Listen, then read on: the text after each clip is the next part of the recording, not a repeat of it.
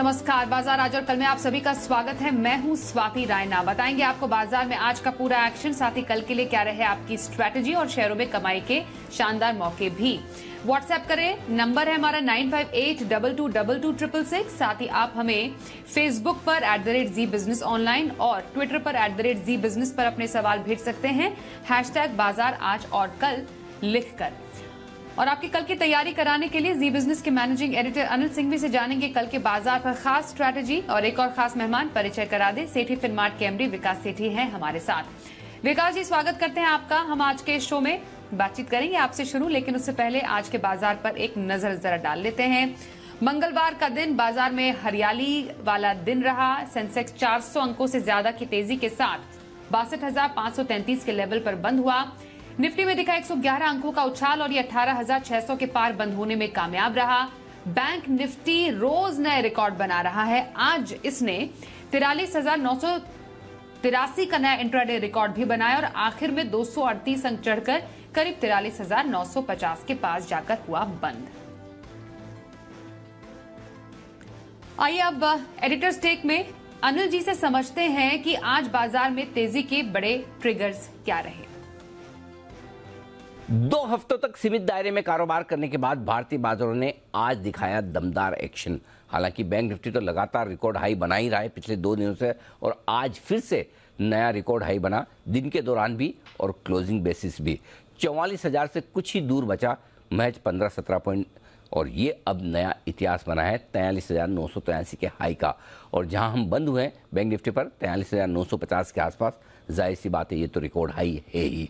Nifty ने भी लंबे समय तक तैंतालीस हज़ार पाँच सौ के आसपास रहने के बाद चार दिनों के ऊपरी स्तरों के आसपास तैंतालीस छः अठारह हज़ार छः सौ के आसपास आज क्लोजिंग दिए। शांत शुरुआत हुई, जबकि ग्लोबल संकेत काफ़ी बेहतर थे। एफआईएस की बिकवाली का दबाव थोड़ा कम हुआ है, बाज़ार हल्के ही हैं, और साथ ही साथ कल देर शाम जो महँगाई के आंकड़े आए थे भारतीय बाजारों के लिए, और साथ ही इंडस्ट्रियल प्रोडक्शन की ग्रोथ जो घट कर आई, इन सबसे भारतीय बाजारों के लिए आज पॉजिटिव संकेत थे। इन पॉजिटिव संकेतों के दम पर शुरुआत सुस्त हुई और सुस्त शुरुआत होने के बाद, समय बिताने के बाद बाज़ार ने धीमे धीमे रफ्तार पकड़ी और यह रफ्तार दूसरे हाफ़ में और बेहतर होती दिखी, जहाँ डाउ फ्यूचर्स भी सुस्त होने के बाद 50-60 पॉइंट की तेज़ी दिखाते हुए नज़र आए। अच्छी बात यह रही दिन के निचले स्तरों के आसपास खुले, दिन के हाईएस्ट लेवल के आसपास बंद हुए बाज़ार। ये एक बढ़िया एक्शन रहा। तो दिन के हाई के करीब निफ्टी भी बंद हुआ बैंक निफ्टी भी बंद हुआ। बढ़ने वाले शेयरों की संख्या ज़्यादा भी थी और कमज़ोर शेयर कम। तो निफ्टी की, के सामने बैंक निफ्टी की लीडरशिप भी रही और आज निफ्टी ने भी रिकवरी के संकेत दिए और क्लोजिंग जिन लेवल्स के आसपास हुई, वो काफ़ी अच्छी कही जा सकती है। आइए विकास सेठी का रुख कर लेते विकास जी कैसे लगे आपको आज के बाज़ार? चौतरफा तेज़ी आज हमने देखी बाज़ार में। बैंक निफ्टी तो नए हाई लेवल्स पर भी पहुँचा। आ, क्या एक्सपेक्ट करें आज आज के इस मूवमेंट से आने वाले दिनों के संकेत के तौर पर? हाँ बिल्कुल स्वाति एक दमदार तेज़ी वाला दिन था आज। कल इंटरनेशनल क्यूज काफ़ी अच्छे थे। डाउ जोन्स पे अच्छी तेज़ी हुई। डाउ जोन्स या जितने भी यूएस मार्केट से यूएस इंडिसेज है और उसके बाद जो हमारे सीपीआई नंबर आए जैसे अभी अनिल जी भी ज़िक्र कर रहे थे, वो काफ़ी अच्छे आए। मतलब नीचे आए, छह परसेंट से भी नीचे आ गए और अब रियल इंटरेस्ट रेट भी पॉजिटिव हो गई। तो इन सबको देखते हुए बाज़ार में एक अच्छी तेज़ी का माहौल था। फिर आज जब हमारे बाज़ार में क्या जो नंबर्स आए हैं, बाज़ार बंद होने के बाद तो एफ़ के काफ़ी दिनों के बाद कैश मार्केट में खरीदारी के आंकड़े आए हैं। 620 करोड़ की खरीदारी करी है। और अभी जब मैं बात कर रहा हूँ तो ऐसे देखने में आ रहा है कि यूएस में भी जो सीपीआई नंबर्स है, बहुत ही अच्छे आए हैं।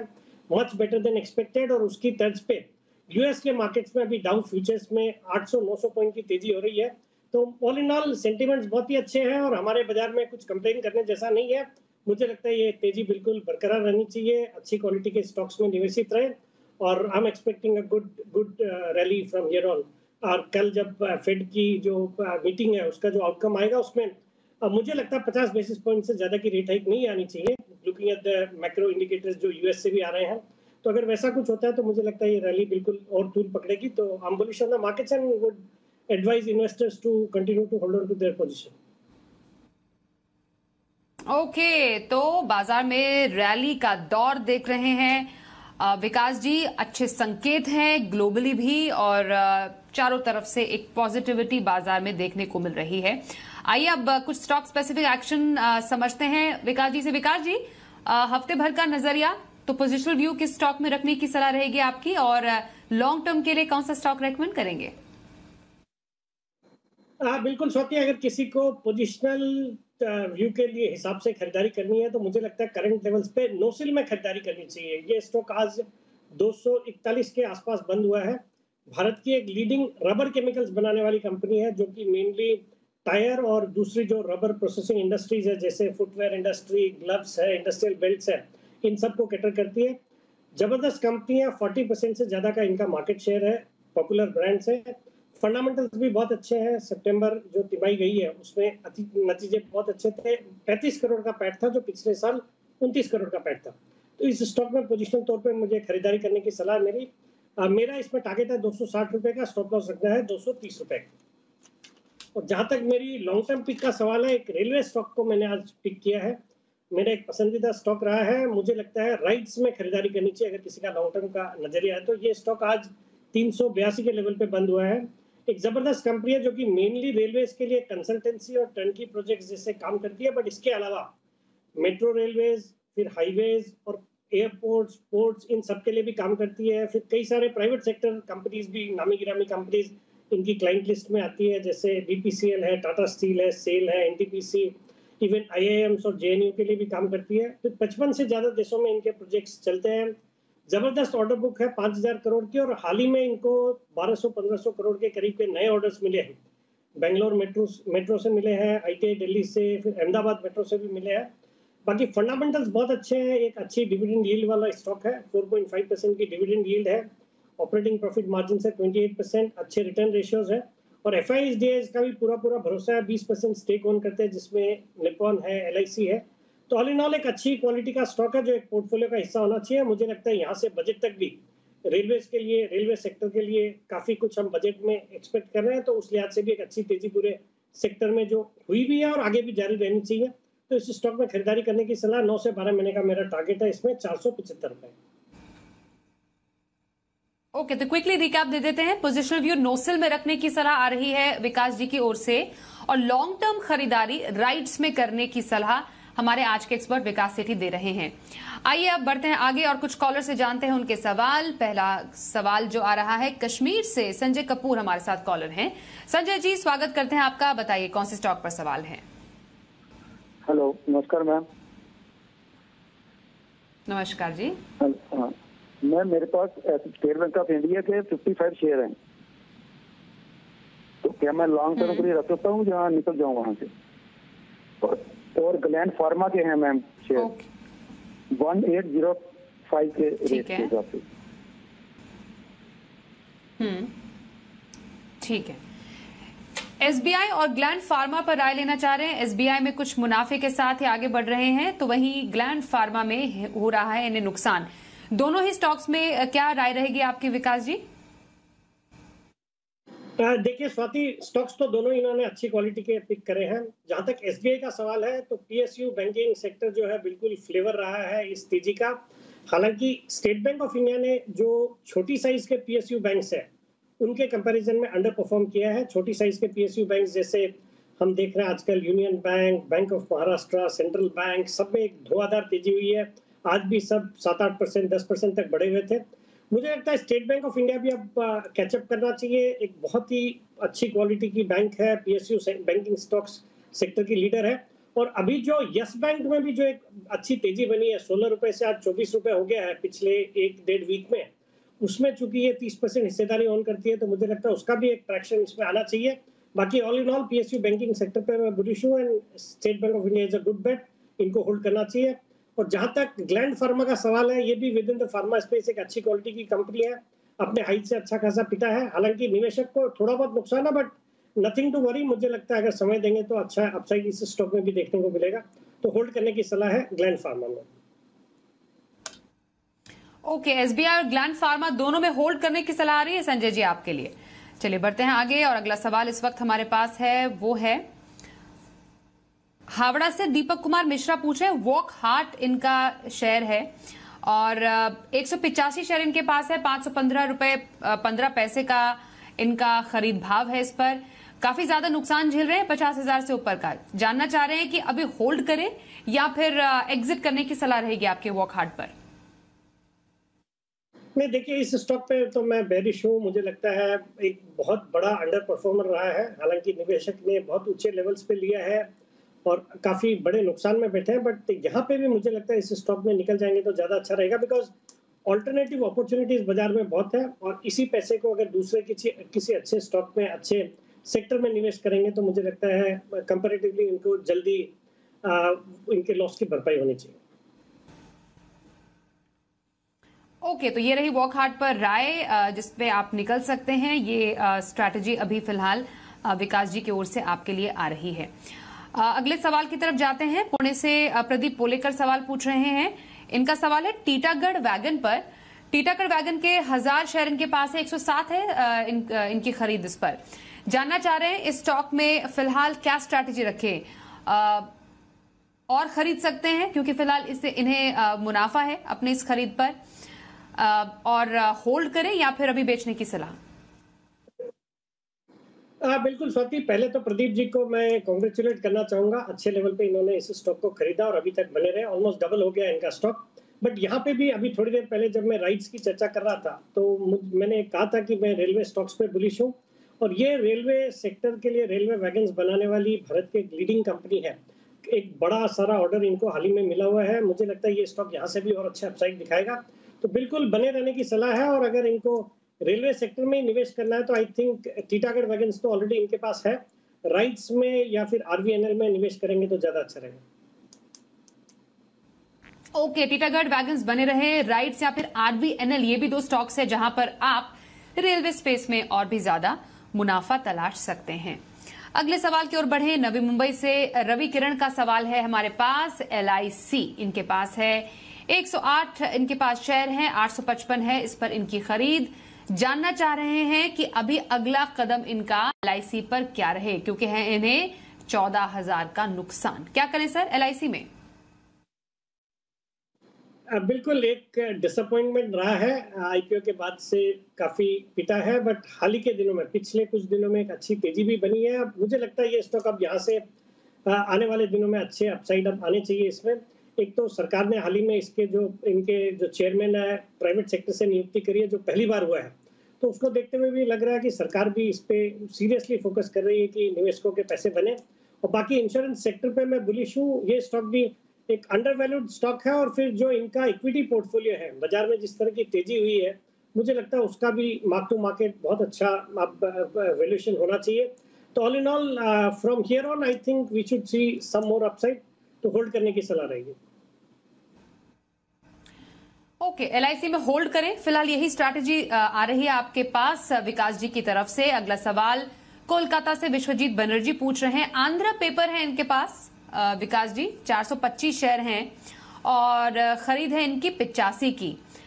आंध्र पेपर में समझना चाह रहे हैं कि फ़िलहाल स्ट्रैटेजी रखें क्या? बम पर मुनाफा इन्हें अपने स्टॉक में हो रहा है। मुनाफे के साथ बने रहे या फिर कुछ मुनाफा वसूलने की आपकी सलाह रहेगी? हाँ बिल्कुल, विश्वजीत जी को तो बहुत ढेरों ढेरों बधाई, बहुत अच्छे लेवल्स पे इन्होंने इस स्टॉक को लिया और चार, पाँच गुना ऑलरेडी कर लिया है। बट यहाँ पे भी इस स्टॉक में अपसाइड नज़र आते हैं पेपर सेक्टर पे मैं बुलिश हूँ। जिस तरह के फंडामेंटल्स बने हैं पूरे सेक्टर के लिए, एक तो पेपर के प्राइजेस बड़े हैं, फिर पेपर की डिमांड भी बहुत अच्छी दिख रही है। खास करके जो ई कॉम पैकेजिंग वाला जो सेक्टर है ई कॉमर्स के, वहाँ से ज़बरदस्त डिमांड आ रही है और बाकी भी सिंगल यूज़ प्लास्टिक का बैन हो चुका है। चाइना में पोल्यूशन कंसर्न की वजह से पेपर के प्रोडक्शन पे काफ़ी रोक है। तो इन सबको देखते हुए और पेपर कंपनीज़ ने अपने जो प्राइजेस है मंथ ऑन मंथ बढ़ाए हैं। तो इन सब का असर पूरे पेपर सेक्टर में देखने को मिल रहा है। आंध्रा पेपर एक बहुत ही बेहतरीन क्वालिटी की कंपनी है। मुझे लगता है डिस्पाइट द फैक्ट कि इन्होंने इनको चार पाँच गुना मुनाफा चल रहा है बट फिर भी इन लेवल्स पे भी होल्ड करना चाहिए। आने वाले दिनों में और अपसाइड देखने को मिलेगा। ओके लेवल्स पर होल्ड करें आंध्र पेपर में। आगे आने वाले दिनों के लिए और मुनाफे के लिए आप तैयार रह सकते हैं। ये आ, बात एनालिसिस है हमारे आज के एक्सपर्ट विकास जी का। अगले सवाल की तरफ़ बढ़े। इंदौर से यश वाधवानी के दो स्टॉक्स हैं विकास जी टालब्रॉस इनका एक स्टॉक है। टालब्रोस पे दो शेयर इनके पास है 609 इनकी खरीद है। नुकसान भारी है इस पर इनको। और दूसरा जो स्टॉक है इनके पास है शेफलर का। एक शेयर है और तीन है इनका शेफलर पर खरीद भाव। शेफलर पर फ़िलहाल इन्हें इस पर भी बहुत भयंकर नुकसान में बैठे हुए हैं। दोनों ही स्टॉक नुकसान के। क्या स्ट्रैटेजी रहने की सलाह? देखिए, स्वाति, वैसे तो इनको दोनों स्टॉक में नुकसान हो रहा है, बट स्टॉक की क्वालिटी अच्छी है। फंडामेंटली दोनों ही अच्छे स्टॉक है। दोनों ही ऑटो कंपोनेंट सेक्टर से स्टॉक्स इन्होंने पिक करे हैं। टालब्रोस ऑटो पे भी। मैं बुलिश हूँ यहाँ से। मुझे लगता है अच्छे अपसाइड देखने को मिलेंगे, अपने हाइट से अच्छा खासा करेक्ट होया हुआ स्टॉक है बट फ्रॉम हियर ऑन मुझे लगता है अच्छे रिटर्न्स बनने चाहिए तो होल्ड करने की सलाह। और शेफलर तो एक ज़बरदस्त कंपनी है, एक एमएनसी स्टॉक है, और मुझे लगता है हालाँकि इन्होंने ऊँचे लेवल्स पे खरीदा है तो थोड़े नुकसान में बैठे हैं बट नथिंग टू वरी समय देंगे तो इनके भाव भी आएँगे, मुनाफा भी होगा तो I would recommend hold on even Schaeffler कल के बाज़ार पर क्या रखे खास स्ट्रैटेजी और बाज़ार के लिए हम संकेत समझते हैं? अनिल जी से। जहाँ तक कल के बाजारों का सवाल है, भारतीय बाजारों के बंद होने के वक्त डाउ फ्यूचर 60 पॉइंट ऊपर थे। हमारे बाज़ार एक अच्छी रिकवरी दिखाकर मजबूती के साथ बंद हुए संकेत थोड़े बेहतर होते दिख रहे हैं। बैंक निफ्टी रिकॉर्ड हाई पर है ही, लेकिन इंपॉर्टेंट ये है कि आज अमेरिकी बाजारों में किस तरह का एक्शन होता है।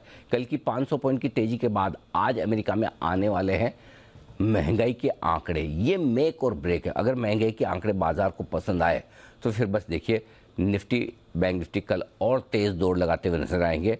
और अगर महँगाई के आंकड़े कमज़ोर बाज़ार के हिसाब से अच्छे नहीं आए तो फिर जिन लेवल्स के आसपास आप बंद हुए वहाँ से थोड़ा फिसलने के भी आपके लिए आसार बनते हैं। क्योंकि दो इंपॉर्टेंट लेवल है, अठारह और चौवालीस हज़ार, जिसके आसपास हम बंद हुए हैं। तो ये दोनों ही मेक और ब्रेक लेवल हैं। अब आपको जो ध्यान में रखना है कल के लिए और अगले कुछ दिनों के लिए जो इम्पोर्टेंट बात है 18,450 जब तक निफ्टी इसके नीचे स्पॉट लेवल पर बंद ना हो तब तक तेज़ी के रुझान में रहिए। बैंक निफ्टी जब तक तैयालीस हज़ार पाँच सौ स्पॉट लेवल के नीचे बंद ना हो तब तक तेज़ी में रखिए। इमीडिएटली जो रेंज है सपोर्ट की कल के लिए निफ्टी पर अठारह चार सौ पचास अठारह पाँच सौ होगी। ऊपरी स्तरों पर अठारह हज़ार सात सौ पचहत्तर अठारह हज़ार आठ सौ पच्चीस तक जाने की कोशिश हो सकती है। बैंक निफ्टी निचले स्तरों पर तैंतालीस हज़ार पाँच सौ तैंतालीस हज़ार छः सौ पचास, ये डेढ़ सौ पॉइंट की रेंज करेगी सपोर्ट का काम। चवालीस हज़ार के पार निकलकर अगर बैंक बैंक निफ्टी पर हम टिके तो फिर खुला नीला आकाश है, एकदम नया जोन लाइफ टाइम हाई और फिर ओवरऑल आने वाले कुछ दिनों में आठ सौ हज़ार पॉइंट की तेज़ी का रास्ता खुलता है। तो अपने स्टॉप लॉस को ट्रेल करते चलें और तेज़ी की पोजीशन बनाए रखें। ये आप आइए अब कल के बाज़ार पर स्टॉक स्पेसिफिक स्ट्रैटेजी समझते हैं विकास जी आपसे। विकास जी इंट्राडे खरीदारी के लिए कौन से स्टॉक में स्ट्रैटेजी बनाने की सलाह रहेगी आपकी? नहीं, बिल्कुल स्वाति कल के लिए खरीदारी करने की सलाह रहेगी ड्रिजिंग कॉर्पोरेशन में। ये स्टॉक आज 417 के लेवल्स पे बंद हुआ है। एक लीडिंग कंपनी है ड्रिजिंग के सेगमेंट में। पहले ये government of India own company थी, जिसमें सरकार की करीबन चौहत्तर पिछहत्तर परसेंट की हिस्सेदारी थी, जो कुछ साल पहले सरकार ने चार port trust mainly Jawaharlal Nehru JNPT फिर आपके Visakhapatnam port trust Paradip port trust और दीनदयाल पोर्ट ट्रस्ट इन चारों में वो हिस्सेदारी बेच दी स्ट्रेटेजिक डाइवेस्टमेंट किया था। बाकी फंडामेंटल्स अच्छे इस कंपनी के और सरकार का जिस तरह से डिफेंस के प्रति मेक इन इंडिया का फोकस है, फिर आत्मनिर्भर बनने की सरकार की पूरी कोशिश है। मुझे लगता है ये स्टॉक अच्छा करना चाहिए। आज इसमें एक अच्छी खासी तेज़ी थी और ये कल कंटिन्यू रहनी चाहिए। तो मेरी राय में कल इसमें खरीदारी करने के मौके ढूँढने चाहिए। मेरा कल इसमें टारगेट रहेगा चार सौ तीस रुपए का। स्टॉप लॉस रखना है चार सौ दस रुपए ओके तो ड्रेजिंग कॉरपोरेशन ये है इंट्राडे खरीदारी की सलाह आ रही है विकास सेठी जी की तरफ़ से। आइए अब देख लेते हैं कल का ऑप्शन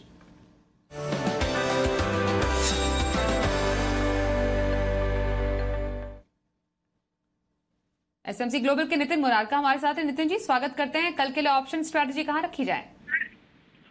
देखिए रिलायंस इंडस्ट्रीज़ पे फोकस करना चाहिए। रिलायंस इंडस्ट्रीज़ की छब्बीस की कॉल ऑप्शन लेंगे, जो छप्पन संतावन के आसपास क्लोजिंग है। जिसका स्टॉप लॉस होगा चालीस का टारगेट होगा एटी फाइव का। बट अभी सिंगापुर निफ्टी हम देख रहे हैं कि एक सौ सत्तर पिछहत्तर पॉइंट ऊपर हो गई है तो हो सकता है गैप अप भी खुल जाए। तो गैप अप खुलेगा तो फिर ऊपर के रेट पे जो भी होगा रिलायंस की ही कॉल लेंगे। 2620 की जगह फिर अप खुलेगा तो 2640 की कॉल ले लेंगे। बट फोकस ये है कि रिलायंस की एट द मनी कॉल लेंगे। पचपन छप्पन के आसपास है जो क्लोजिंग है जिसके टारगेट 85 हो सकते हैं stop loss forty rupees okay okay, तो रिलायंस इंडस्ट्रीज़ में ऑप्शन स्ट्रैटेजी बनाने की सलाह आ रही है नितिन मुरारका की तरफ़ से। नितिन जी धन्यवाद करेंगे शो में शामिल होने के लिए। और विकास जी आपका भी धन्यवाद। हमारे साथ आज चर्चा में शामिल हुए। बाज़ार आज और कल में बस इतना ही रुको।